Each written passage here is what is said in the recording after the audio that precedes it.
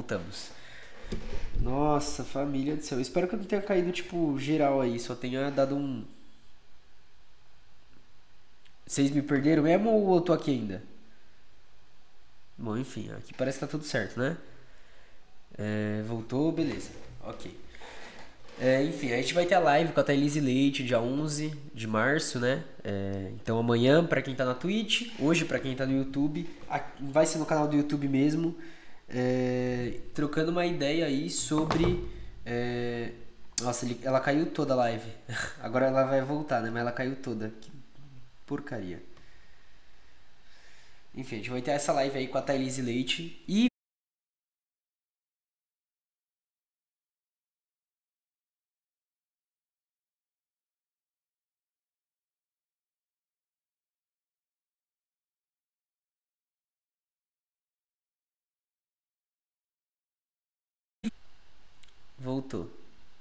Recuperando, recuperando. Beleza. É isso, voltamos então. Ai, mas aqui ainda não tá mostrando que eu tô online não. Falar pra vocês.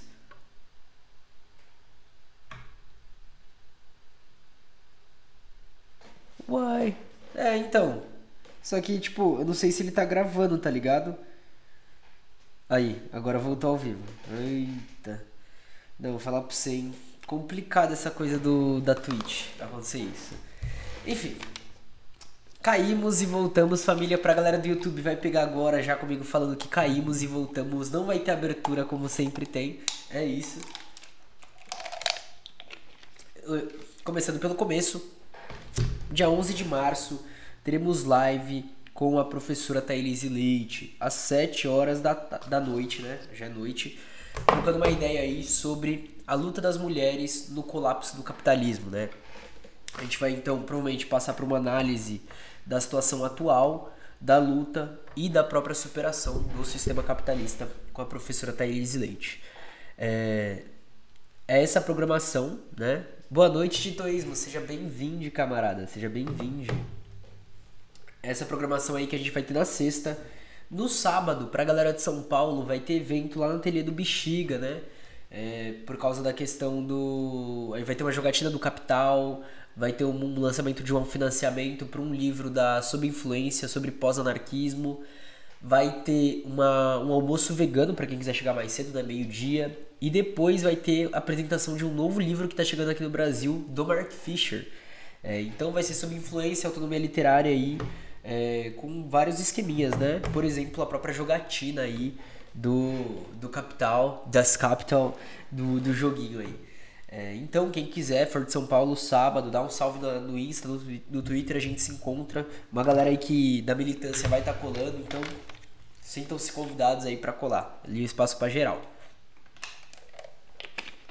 Além disso, família, é, bom, coisas de sempre, queria lembrar aí que a gente tem arroba morcego underline marcos underline para acessar Insta, Twitter, que é onde eu tô divulgando tudo, postando tudo sempre. Também queria lembrar aí que a gente tem um podcast, né? Até falar um pouco aí, porque eu fiz um post hoje, porque é, o último episódio foi com a causa, causa é, de referência Preta Zeferina, né? Então, quem quiser ouvir, porra, um papo muito da hora sobre a ocupação. É, a galera da outra ocupação que aconteceu aí nos últimos dias da UP também pediu para trocar uma ideia. Vai demorar um pouco, justamente porque a gente tem alguns projetos aí que estão é, marcados, né? Por exemplo, é, dia 21 a gente vai lançar a segunda temporada dos meus episódios solo do podcast, né?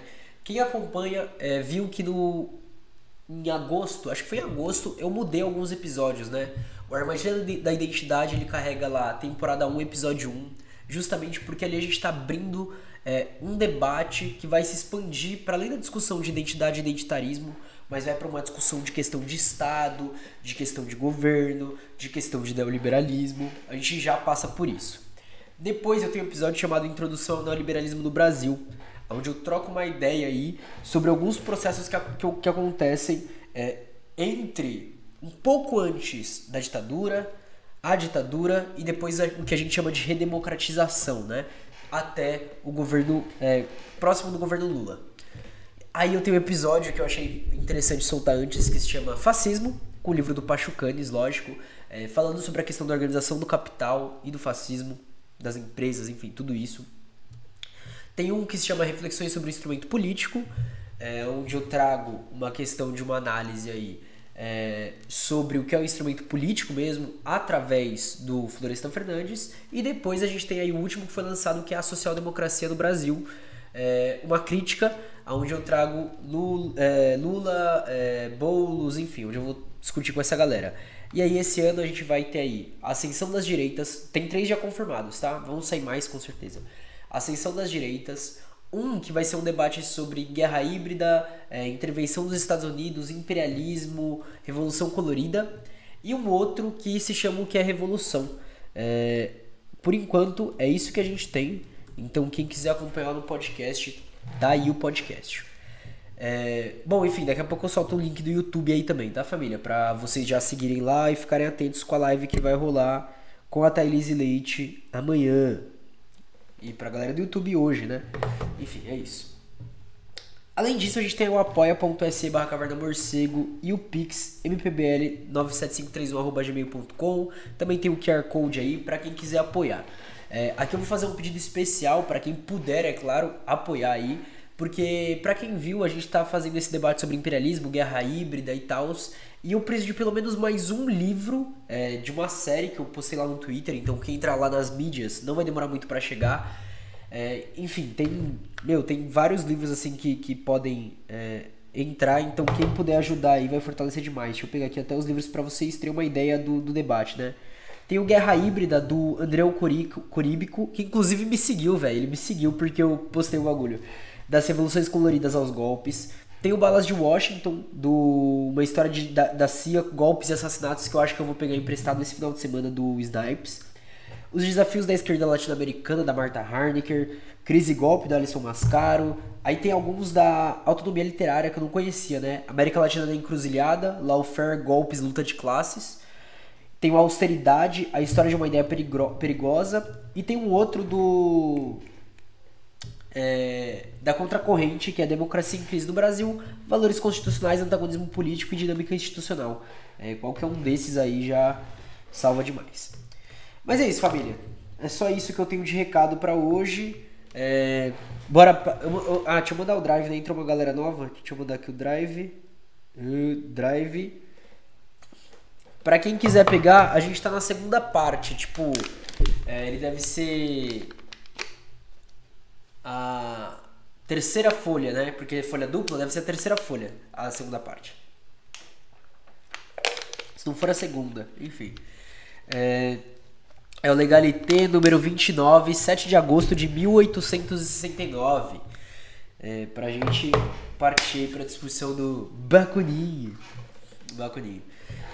Ai, ai, minha mãe não tem que. Minha mãe vai acordar cedo da manhã, ela pediu pra eu falar um pouco mais baixo, mas assim, esse texto tá bom, assim. Eu não sei se eu vou me exaltar, não. Esse texto tá da hora. Me surpreendendo lendo do Bacuninha, hein, família. Inclusive, eu não sei se vocês viram, né? Porque eu postei a foto com o chavoso e com o coração vermelho lá, né? No. No, no zap, aí eles postaram no, tweet, no, no Insta e tal. É, no rolê tava. Tipo, foi pós-ato, né? Que a gente se, se trombou. Aí tinha a galera anarquista lá, né?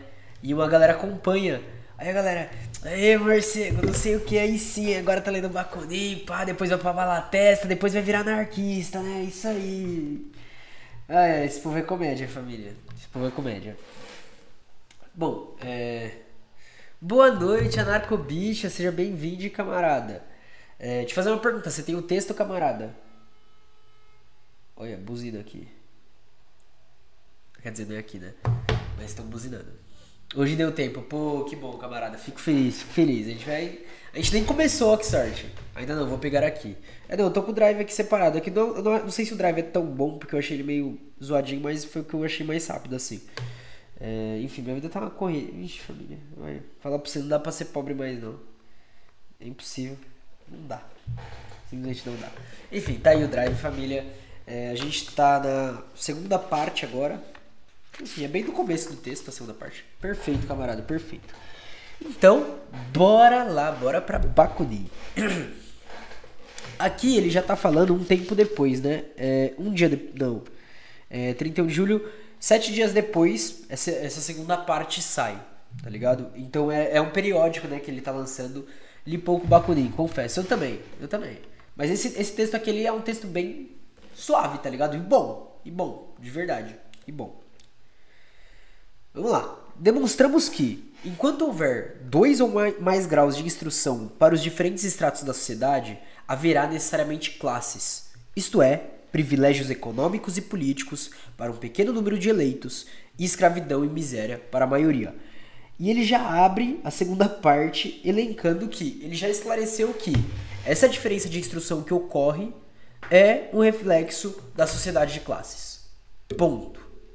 Ele já vai. Ele, eu, eu, eu tô curtindo disso porque, por não ser um livro onde você tem que destrinchar teoricamente e tal, não sei o que, é um periódico, ele tá indo na lata, tá ligado? Ele tá indo no ponto, ele só manda, ó, pum, é isso, tá ligado? Tô curtindo, tô, eu, eu, curti esse, esse, modo de escrever, gostei, assim, pro, pro, pro tipo de leitura, tá ligado? Membros da AIT, Associação Internacional dos Trabalhadores, nós queremos a igualdade. E porque a queremos, porque a queremos, devemos querer também a instrução integral, igual para toda a gente. Então a gente está falando aí já de uma instrução totalizada, né? Ele está falando de uma educação que vai além do que a educação que hoje é oferecida, saca? E que seja uma educação que todos possam ter acesso. É aquela fita que a gente fala, né? É, de ensino público, de uma faculdade popular, sem muros, onde ela seja diretamente conectada com a sociedade. É isso que a gente está começando aqui. Boa noite, Lúcio! Seja bem-vindo, camarada. Tudo de boa? Tudo na paz? Sabadinha é nós, hein, camarada? Sabadinha é nós.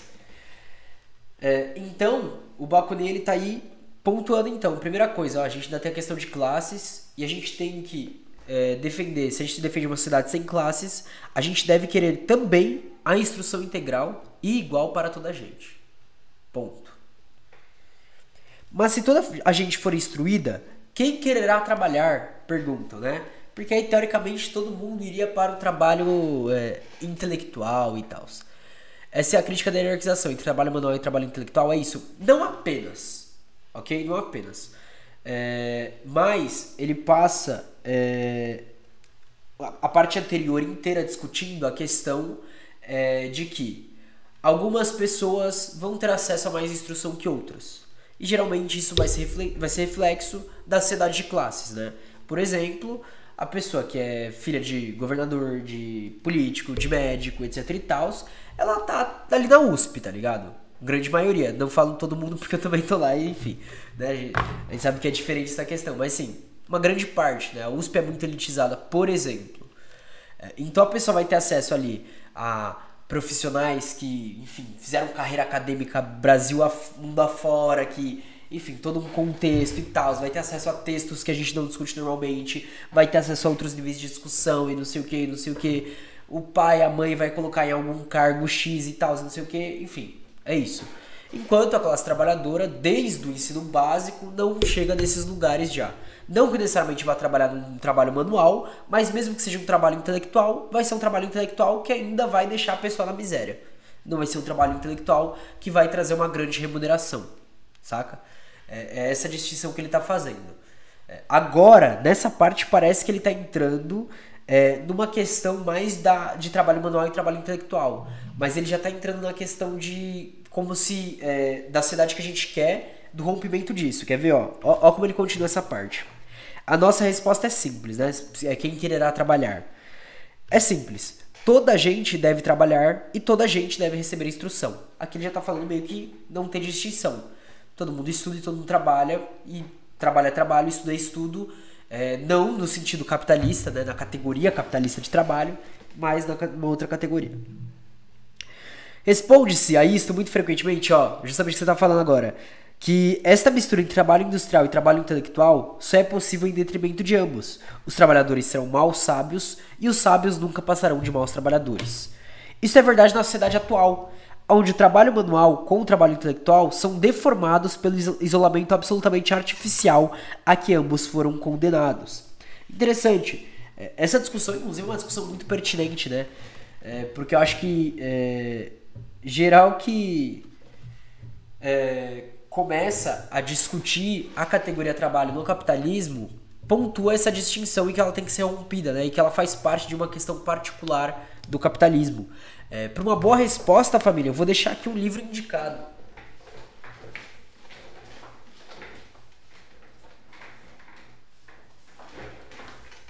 Enfim, eu já indiquei o. Eu, eu, vou indicar os dois de novo porque eu indiquei na semana passada. Eu vou indicar os dois.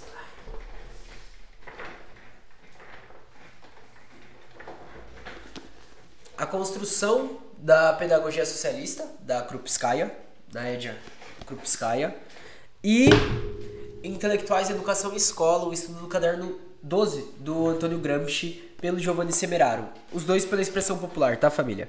É, de verdade, é, a Krupskaya vai dar um exemplo é, prático, porque ela vai falar sobre os fatos da União Soviética, e o Gramsci ele vai dialogar com essa questão de o que é o trabalho intelectual, o que é o trabalho manual, né, rompimento dessas questões, enfim. Ele vai trabalhar com toda essa questão. Continuando então, a gente tem, mas estamos convencidos de que o homem vive completo. É, cada uma dessas duas atividades, muscular e nervosa, Gramsci fala sobre isso, deve ser igualmente desenvolvida e que, longe de se anularem mutuamente, cada uma delas deve, se, deve apoiar, alargar e reforçar a outra. A ciência dos sábios tornará mais fecunda, mais útil mais vasta quando o sábio deixar de ignorar o trabalho manual e o trabalho manual do operário instruído será mais, e aqui no, na minha versão tem um erro de digitação, lembrar de avisar o camarada do jornal, inteligente e, por conseguinte, mais produtivo do que o do operário ignorante.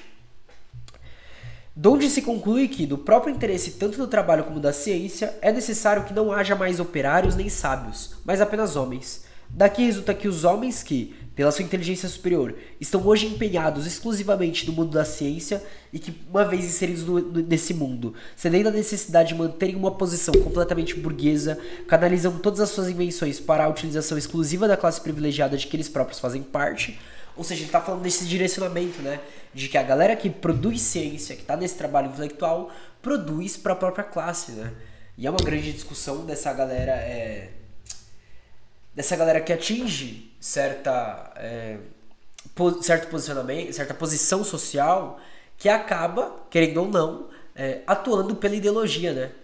Que acaba caindo no, no, às vezes nem porque quer, mas às vezes acaba indo para ideologia e segue a ideologia, segue o status quo, né? Que esses homens, uma vez tornados solidários com todo mundo, solidários não na imaginação nem em palavras apenas, mas na prática, pelo trabalho, canalização, todas, canalização, todas as suas descobertas e as aplicações da ciência em proveito de todo mundo. Acho que é canalizarão todas as suas descobertas e as aplicações da ciência em proveito de todo mundo. E, antes de mais, do melhoramento e enobrecimento do trabalho, a única base real e legítima da sociedade humana. Então, ele já está entrando nessa questão de que é preciso alterar toda essa questão do trabalho na categoria capitalista, né? É possível e mesmo provável que no período de transição mais ou menos longo, que sucederá naturalmente à grande crise, as ciências mais avançadas desçam abaixo do seu nível atual. Como é indubitável que o luxo e tudo o que constitui os requintes da vida deverá desaparecer durante muito tempo, para só aparecer não como usufruto exclusivo, mas enobrecimento, mas, mas, ah, é mas enobrecimento de toda da vida de toda a gente.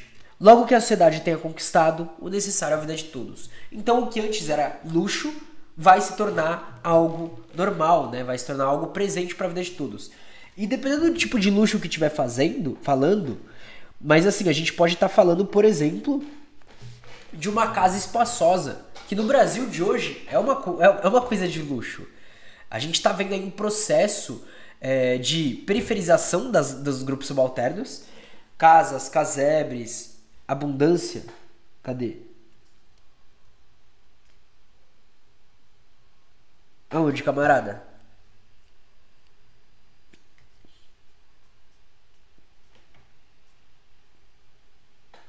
Eu perdi. Enfim, hoje eu tô meio avoado, tá? Não liga não. É, e a gente vê nos centros é, surgindo apartamentos cada vez menores. Não, eu tô perguntando se seria também o sentido que ele usa aí. Então, me parece, saca? Não me parece que ele tá falando é, de luxo, luxo. Porque, por exemplo, né? Vamos lá, se a gente vai falando de artigos de luxo, por exemplo, um carro é, esportivo que faz, sei lá, é, 200 em, em 5 segundos e tal, não sei o quê, porque é um artigo de luxo. Mas eu acho que ele está falando desse luxo no sentido de analisando a miséria da população e o bem-estar da, daquela pequena minoria, deve ser tipo esse é, bem-estar, na verdade, atinge a gente. Por exemplo, a questão, vamos lá. É, num país, ó, ó, eu não sei se vocês moram em capitais, mas. Exato, é, é exato, Shazam. Eu, eu, eu, entendi nesse sentido. É, eu acho que a gente tá falando mesmo, meio que da mesma coisa. Porque a questão. É, aqui em São Paulo, os apartamentos eles são cada vez menores, tá ligado? E eles são muito caros. Então, tipo assim, as coisas mais básicas, elas já estão inalcançáveis, tá ligado? É, então, para você ter, por exemplo, um espaço onde caiba uma família aí de 6, 7 pessoas, saca? Pô, você já precisa de uma casa grande, você precisa de um. Saca? A gente tá falando de, de, de, um, de um nível de conforto, de um nível. Ok. Podemos viver. É, e os problemas são os problemas de. Ah, probleminhas normais, não são esses problemas do capitalismo, como por exemplo, falta de lugar confortável para dormir, falta de alimentação, falta de água potável, é, enfim, coisas assim, educação, etc e tal. Vamos continuar para ver se é nesse sentido mesmo, porque às vezes ele traz mais alguma coisa. Mas, será este eclipse temporário da ciência superior a uma grande desgraça? Aquilo que perderá em elevação sublime ganhará no alargamento de sua base? Sem dúvida, haverá menos sábios, sábios ilustres, mas ao mesmo tempo muitíssimo menos ignorantes. Deixará de haver homens que tocam os céus, mas, em contrapartida, milhões de homens hoje aliviados e esmagados caminharão humanamente na terra, sem semideuses nem escravos.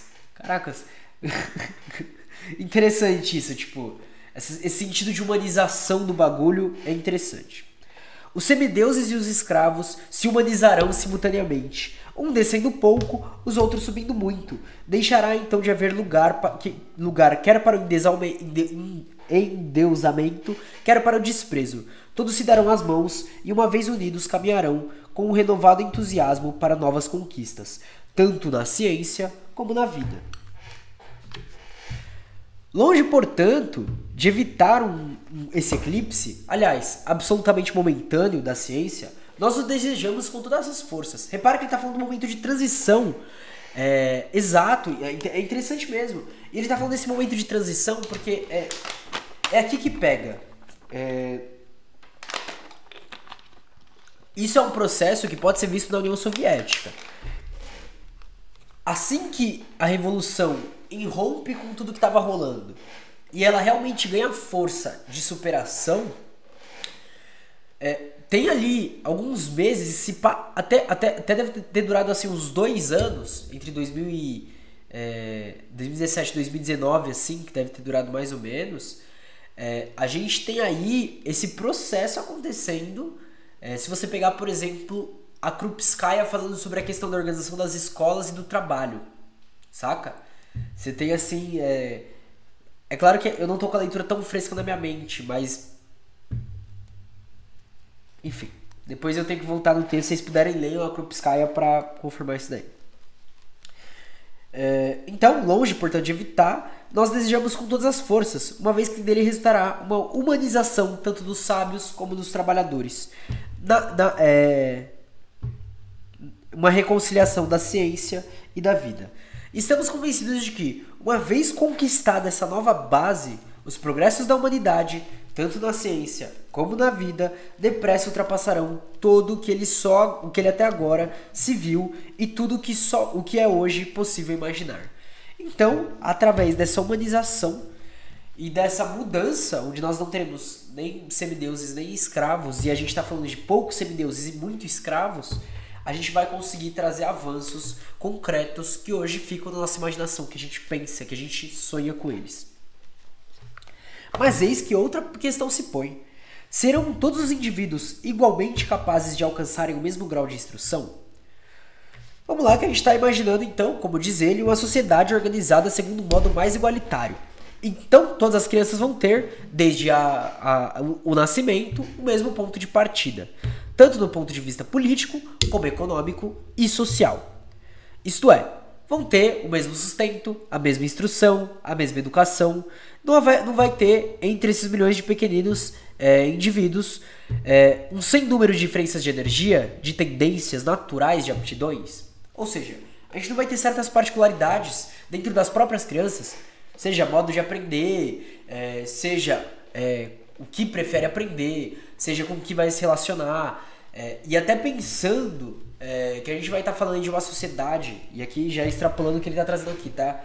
Onde a educação vai estar tá totalmente ligada com a vida social e com o que a gente chama, vai chamar por trabalho na, nessa nova sociedade, é, a gente vai ter outras questões sendo levantadas desde a própria é, educação básica, né? desde o primeiro contato da criança com o que é tido por uma instru instrução mesmo, né? E esse é o grande argumento dos adversários, né? Os burgueses puros e os socialistas burgueses. Eles dizem que é irrefutável. Mas vamos provar para eles o contrário, né? Vamos lá. O, o Bakunin ele tá realmente na tese de debater e bater na frente com o bagulho. É, antes de mais, como que direi, como, como, como que, com que direito se baseiam eles no princípio das capacidades individuais? Haverá na sociedade, haverá na sociedade tal como ela, como ela está para o é, tal como ela está para o desenvolvimento pleno dessas, dessas capacidades? Poderá haver lugar para o desenvolvimento dessas capacidades numa sociedade baseada no direito da herança? Ele já, já toca no ponto, né? Tá bom, é, a gente tem isso daí agora? Não. Então a gente tem que tentar diferente. Ponto. Evidentemente que não. Por quê? Enquanto houver heranças e desenvolvimento das crianças, não, o desenvolvimento das crianças não será é, nunca o resultado de suas energias, suas capacidades individuais. Vai estar totalmente dependente da fortuna, da riqueza ou da miséria de suas famílias. Os herdeiros, ricos, mais estúpidos, é, mais estúpidos, receberão uma instrução superior. As crianças mais inteligentes do proletariado continuarão a receber como herança a ignorância, tal como hoje acontece. Não será, pois, uma hipocrisia falar em desenvolvimento das capacidades individuais, não só na sociedade atual, mas também em vista de uma sociedade reformada que continuaria a ter por base a propriedade privada e o direito da herança? Cara, é isso, é sobre isso. A crítica que ele está apontando aqui, fantástica. Não será uma mentira infame falar de desenvolvimento das capacidades individuais nessas circunstâncias? Então, ele é, vai justamente na questão de criticar a sociedade capitalista e, inclusive, as reformas dentro da sociedade capitalista. Não vai ser uma reforma no plano educacional que vai resolver o problema. Porque ainda é baseado na propriedade privada, ainda é baseado no direito da herança e ainda é baseado numa suposta falsa meritocracia.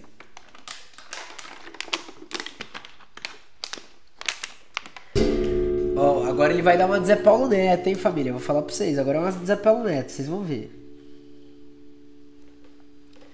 Fala-se hoje em liberdade individual. Ponto do Bakunin, é isso. É isso. É, eu, assim, eu nunca, eu nunca tive tretas profundas contra, com, com ele, tá ligado? Quem tinha era Marx, parça. Eu não tenho tretas profundas com ele. É, inclusive, entendo a crítica de Marx, gosto bastante daquela crítica, concordo na maioria dos pontos, tá ligado? Só que eu não gosto de descartar o Bakunin porque ele traz muita coisa boa.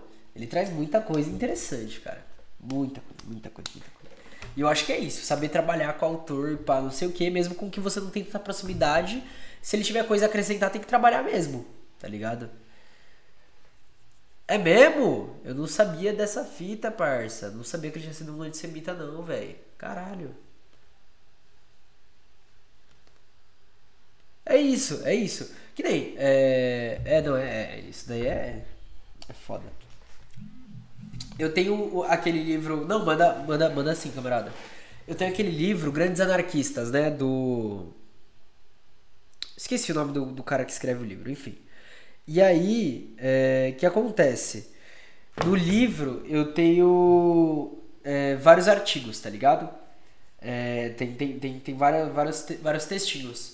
E aí, se eu, qualquer dia a gente vai até ler algum dele, alguns deles. É, eu tenho lá, tipo, marcado as pontuações que eu concordo, as pontuações que eu discordo, com o que, que eu vou criticar, algumas questões até, tipo, uma pergunta levantada. E é isso, trabalhando da forma que der para desenrolar melhor o pensamento. Fechou, camarada.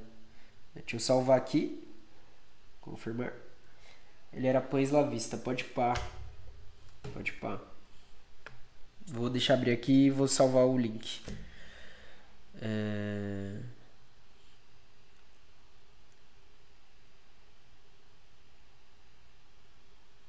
Compartilhar. Calma aí que eu tô pegando o link, tá, família? O link, perfeito. Ah, ele faz igual o Weber, mano. Ai, ai. Caracas, parece que ele lançou a origem do capitalismo com a do povo judeu. Enfim, depois eu vou assistir esse vídeo aí, aí eu vou postar alguma coisa sobre se eu achar pertinente, tá ligado? É, é não, bota fé, bota fé, bota fé. Mas então vamos voltar pro texto, é, porque agora eu fiquei, eu fiquei chateado, eu fiquei chateado com o bagulho, parça, fiquei chateado. Mas vamos voltar pro texto. É, Fala-se hoje muito de liberdade individual, mas no entanto, aquilo que domina não é, não, é, não é o ser humano, o indivíduo, o indivíduo em geral. É o indivíduo privilegiado pela sua posição social. É, é a posição, é a classe. Que o indivíduo inteligente da burguesia ouse apenas levantar uma mão contra os privilégios econômicos dessa respeitável classe, e veremos quantos desses bons burgueses, que só falam em liberdade individual, respeitarão a dele. Venham, venham, venham-nos então falar em liberdade individuais. Não vemos nós todos os dias os indivíduos mais inteligentes entre os operários e burgueses serem obrigados a, a, a cederem, a rebaixarem-se diante da estupidez dos herdeiros do bezerro de ouro? É, então a gente já tem isso aí nessa questão é, dele pontuando, a, inclusive a questão do poder, a questão de quem dita os rumos. As liberdades individuais, não privilegiadas mas humanas, as capacidades reais dos indivíduos só poderão ser plenamente desenvolvidas em igualdade completa. Só quando houver igualdade desde o início para todos os homens em cima da terra, só então salvaguardando os superiores direitos da solidariedade, que é e continuará a ser a principal base de toda a vida social, inteligência humana e bens materiais. Se poderá dizer que todo indivíduo é fruto do seu próprio esforço. De onde concluímos que, para que as capacidades individuais prosperem e não sejam mais impedidas de darem todos os seus frutos, é necessário, antes de mais nada, que todos os privilégios individuais, tanto políticos como econômicos, isto é, todas as classes, eh, sejam abolidas. É necessário que desapareça a propriedade individual e o direito de herança. É necessário que a igualdade econômica, política e social triunfe. É um ponto bem interessante isso daqui. Tô me contradizendo aqui, mas ela explica em detalhes. Desculpa esse saber tão bem. Não, fica tranquilo. Você já mandou o link já tá ótimo, camarada. É, depois é, dá uma atenção nesse link, vê o vídeo, pá, não sei o que, e é isso. Então, é, o Bakunin ele fala né, que essa questão. É, você ainda precisa, para ser considerada liberdade individual, que não haja esse poder determinado por uma classe, né? Esse poder determinado de poucos para vários, aonde você tem aí a o atropelamento de é, um pensamento em detrimento do que o status quo, a galera que tem grana, coloca em pauta, né? O capitalismo coloca em pauta.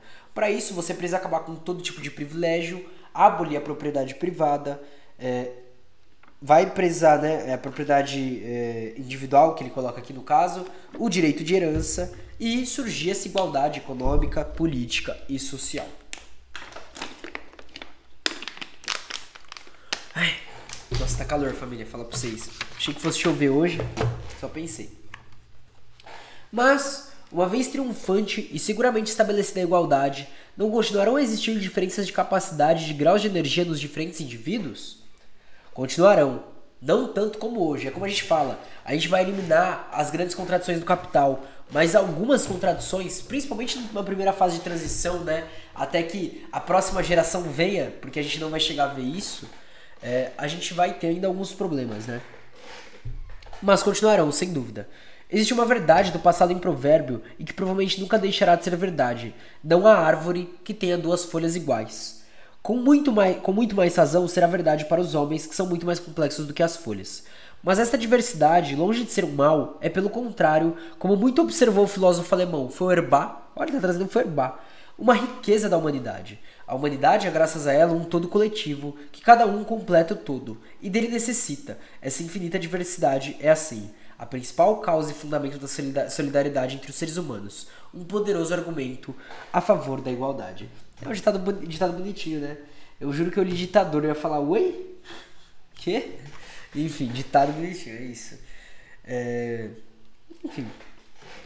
No fundo, mesmo na sociedade atual, se retirarmos duas categorias dos homens, de homens, os homens de gênio e os idiotas, se abstrairmos as diferenças criadas artificialmente pela influência de milhares de causas sociais, educação, instrução, posição econômica e política, que diferem não só de extrato para extrato, como de família para família, é necessário reconhecer que, do ponto de vista das capacidades intelectuais e da força moral, a esmagadora maioria dos homens parecem-se muito uns com os outros, ou pelo menos equivalem-se.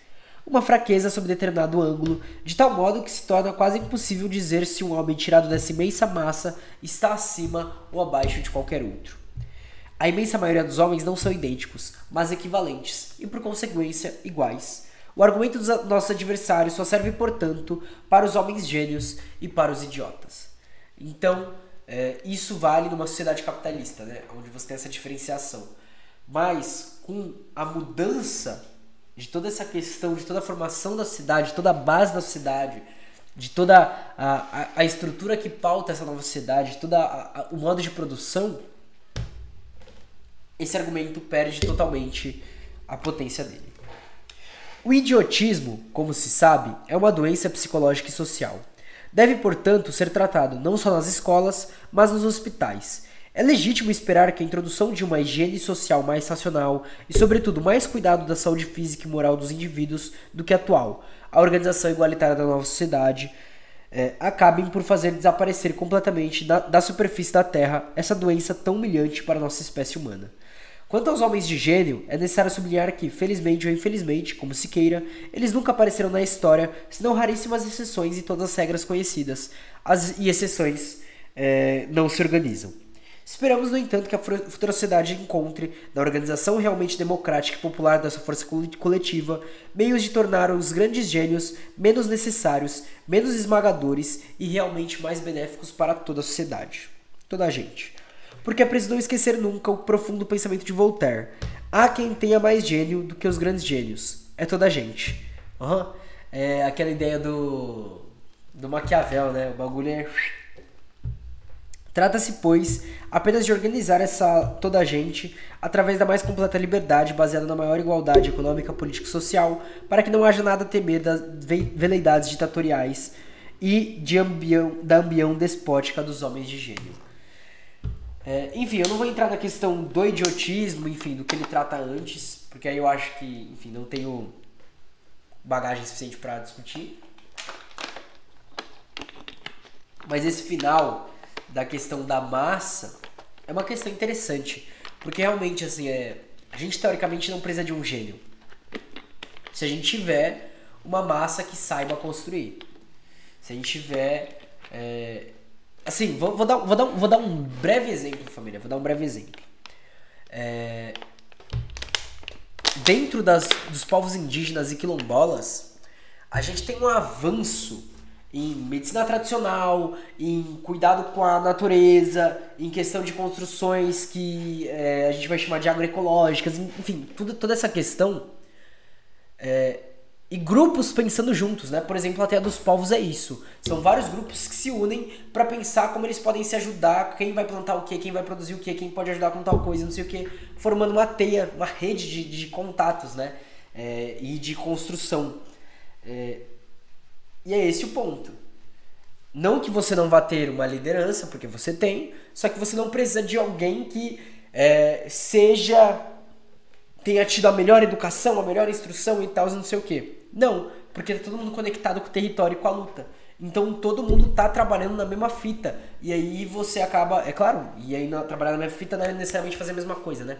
E aí, claro, acaba surgindo toda um constru uma construção coletiva, um pensamento coletivo em torno de uma solução para algo, em torno de algum projeto, em torno de alguma coisa.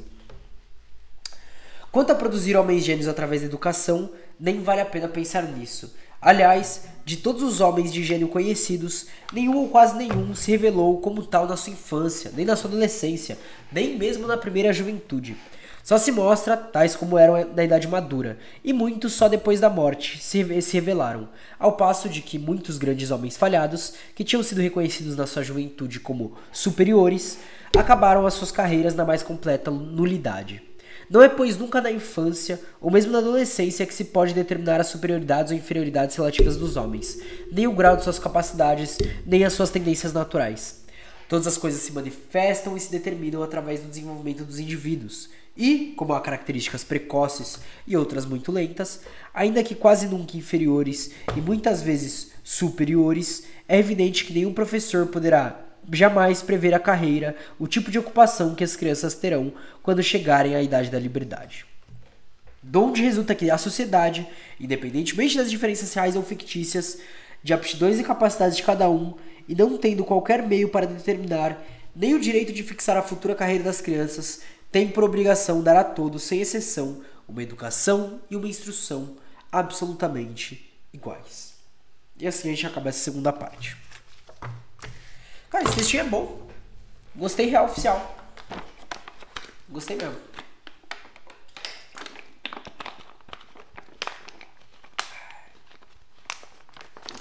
Enfim, família, é isso para hoje. É... Eu prometo que. Putz, eu não consigo prometer semana que vem. É... Deixa eu ver. É que semana que vem volta minhas, minhas aulas, eu não sei como que eu vou estar a questão de horário semana que vem, tá, família? Mas eu prometo que depois da live da Thailise Leite, antes da gente continuar o livro do, do Bakunin, a gente vai ter uma live para trocar uma ideia, tá?